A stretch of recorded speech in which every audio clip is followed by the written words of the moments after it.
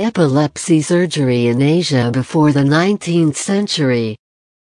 N.S. Chu, T. Hori, S. K. Lee, Y. Mayanagi, K. Radhakrishnan, and H. Shibasaki. E. 2. For preparing this chapter, data were collected by Drive NS. Chu for China and Taiwan, by Dr. K. Radhakrishnan for India, by doctors Y. Mayanagi and T. Hori for Japan, and by epilepsy surgery in Asia before the 19th century.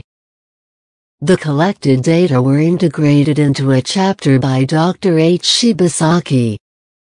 In spite of extensive literature survey, at least in these countries, clearly documented evidence of epilepsy surgery has not been found until the end of the 19th century.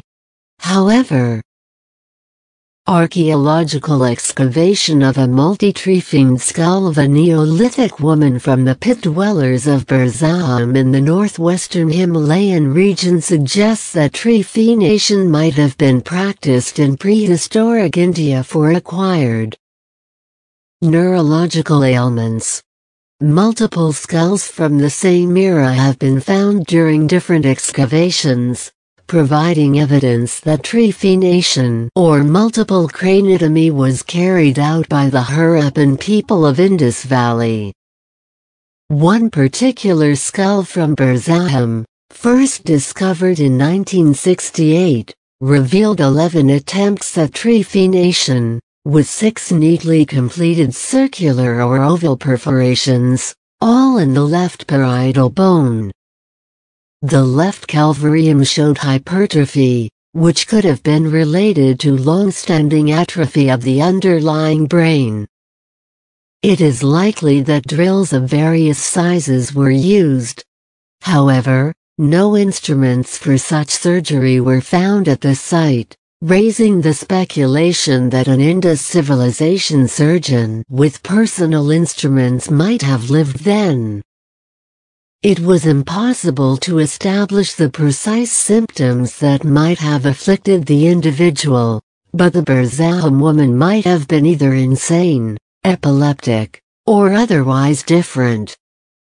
The carefully performed trephination, suggestive of a multi-stage procedure on a possibly anomalous skull, argues for a surgical approach for medical reasons on a living person who did not survive the procedure. It is also likely that this might have been part of a ritual in a primitive society that regarded epilepsy or other neurological disease that the Burzahom woman suffered from to be a result of possession by spirits. About 2000 years ago in India, Medicine practice was based on Ayurveda, and Shalya Chikitsa was one of its major branches.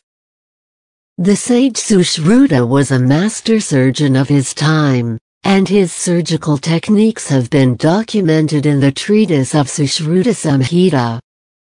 Although well versed in many aspects of surgery, no specific references to epilepsy surgery have been made in the treatise. In Ayurveda, epilepsy was referred to as apasmara. The prefix apa meaning negation or loss and smara meaning consciousness or memory.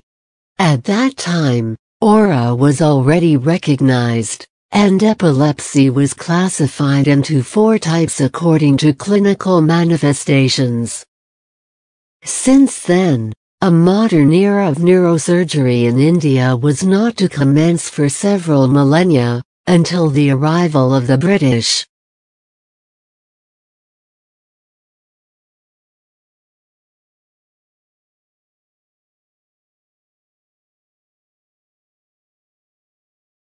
The first medical schools were established by the British in India in the 19th century.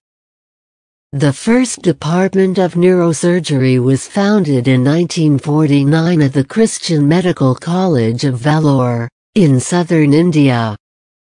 The first modern epilepsy surgery in India was performed in 1951 by Jacob Chandy of the Christian Medical College, Vellore.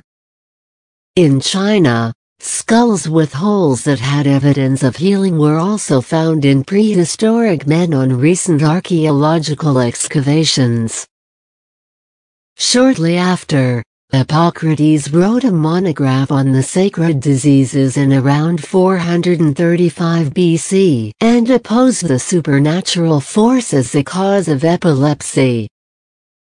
The first description of a clinical picture of epilepsy in Asia appeared in the LLOW Emperor's Neijing in China, which was compiled between 300 100 BC and is considered the earliest work of classic Chinese medicine.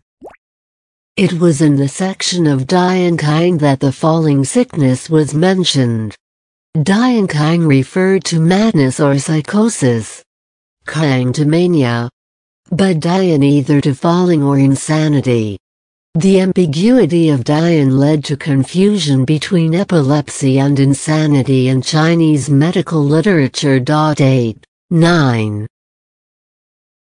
In the Xiu dynasty in China, the term xian was introduced and referred to convulsion or seizure.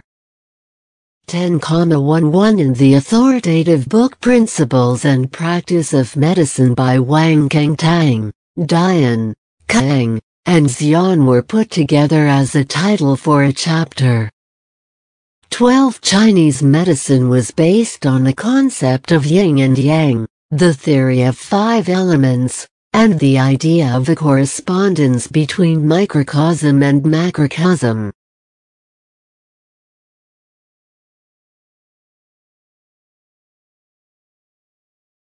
Thus, the falling sickness was considered a disease of excessive negative force, wind, excessive heat, excessive fullness, or emotional shock.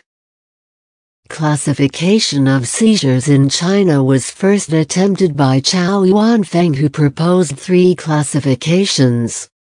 Based on age of onset, Xian for seizures occurring before the age of 10 years, and Dian for those occurring after 10. Based on symptoms and causes, Yang epilepsy, Yin epilepsy, wind epilepsy, wet epilepsy, and labor epilepsy.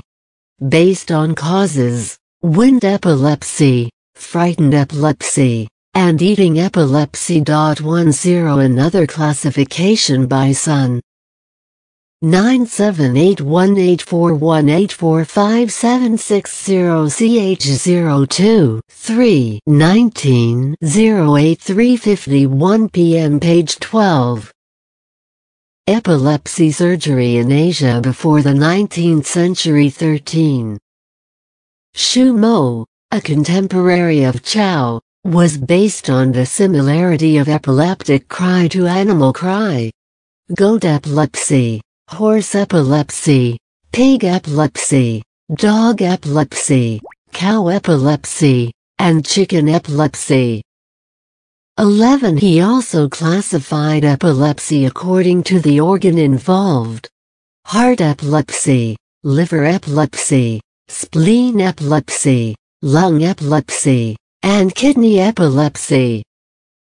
11 Many etiologies were proposed and usually based on yin, yang imbalance, dysfunction of organs, climatic influence, and disturbance of qi, phlegm, and blood.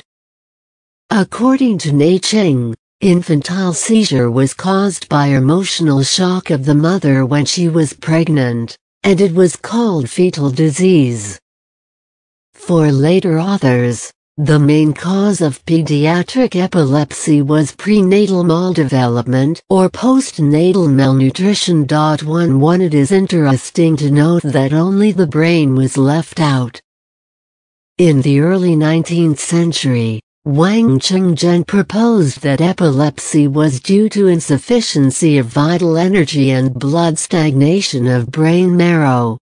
13 Although he advocated brain as the seat of mind, he still considered the brain as bone marrow inside the skull.